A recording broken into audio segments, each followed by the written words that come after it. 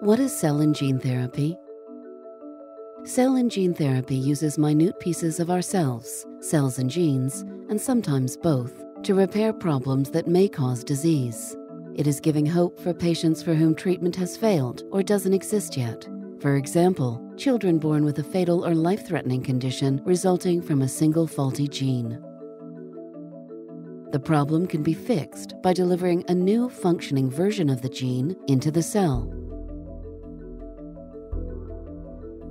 In some cases, cells from the patient are taken from the body, engineered with a new gene, and put back again.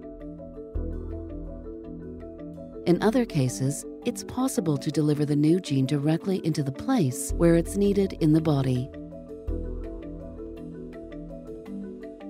In some illnesses, such as cancer, the immune cells can be upgraded to better recognize the rogue cells and kill them.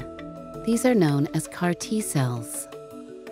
The exciting thing about cell and gene therapy is that it fixes the problem at source, hopefully for good.